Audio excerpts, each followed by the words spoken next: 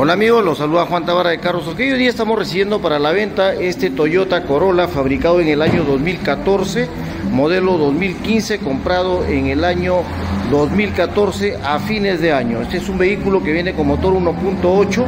Esta es una de las versiones del carro más vendido del mundo. Hasta el año 2015, Toyota había vendido más de 44 millones de vehículos en 150 países alrededor del mundo. Toyota Corolla, el vehículo más vendido del mundo. Las personas que conocen de Toyota saben que Toyota es una marca de categoría. Es un vehículo que tiene caja automática, ha caminado 92 mil kilómetros de recorrido, pero el vehículo realmente se encuentra en buenas condiciones.